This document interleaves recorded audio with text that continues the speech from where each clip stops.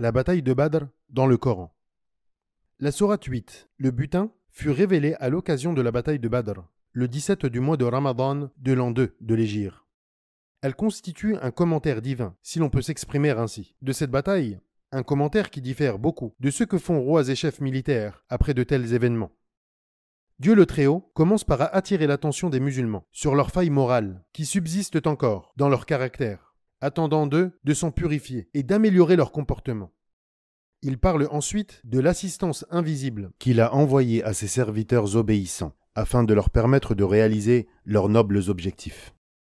Ainsi, les musulmans ne se laisseraient pas abuser par leur courage et ne deviendraient pas arrogants. Au contraire, ils devront placer leur confiance en Dieu et ils lui obéiront, à lui de même qu'à son messager, sallallahu alayhi wa. Après cela, il définit les objectifs élevés pour lesquels le messager sallallahu alayhi wa sallam s'est lancé dans cette rude bataille, et il souligne les qualités qui font mériter la victoire.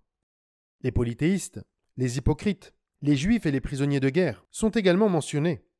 Dieu leur adresse une exhortation éloquente. Peut-être en tireront-ils profit en se soumettant à la vérité.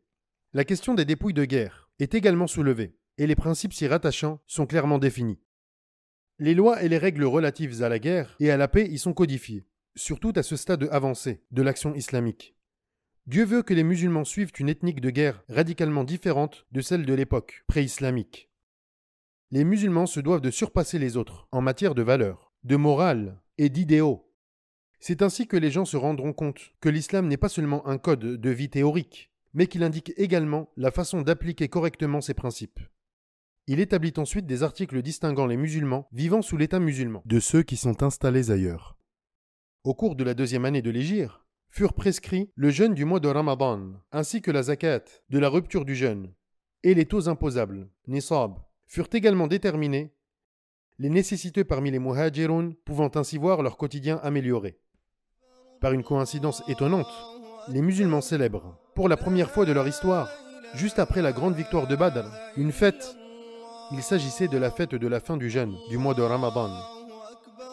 Ce fut un spectacle magnifique, comme jamais on en avait vu auparavant. Les musulmans sortaient de leurs maisons en invoquant Dieu, en acclamant son nom et en déclamant ses louanges de la voix la plus forte possible, en reconnaissance de ses faveurs et de sa grâce, et surtout pour le soutien qu'il leur avait procuré et qui leur avait permis de triompher des forces du mal. Dieu évoque cela dans le verset suivant. Rappelez-vous quand vous étiez peu nombreux, opprimés sur terre, craignant de vous faire enlever par des gens. Il vous donna asile, vous renforça de son secours et vous attribua de bonnes choses.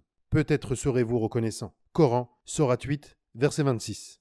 La vidéo est maintenant terminée. Si son contenu vous a plu, je vous invite à vous abonner à ma chaîne et à activer la petite cloche des notifications pour que les nouveautés vous parviennent.